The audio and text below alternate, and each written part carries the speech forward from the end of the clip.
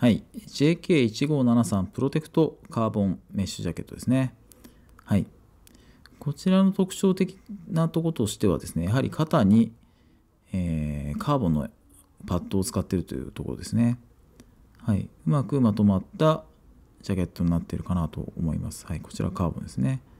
はい。ショルダーパッドが表に出ている形になっております。はい、それとメッシュをとテキスタイルを組み合わせたコンビネーションさせたジャケットですよね。はい、で肩肘のプロテクターには男性用も女性用もこのあの C レベル2の、はい、プロテクターを使います。はい、これが、まあ、以前と大きく変わったところですかね。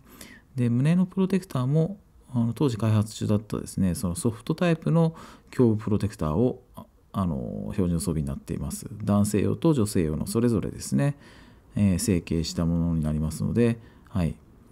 はい、そちらを標準装備したジャケットになっております。肩肘胸背中バあのプロテクターフル装備のメッシュジャケットですね。バイク用のメッシュジャケットになりますので是非ともご覧いただければなと思います。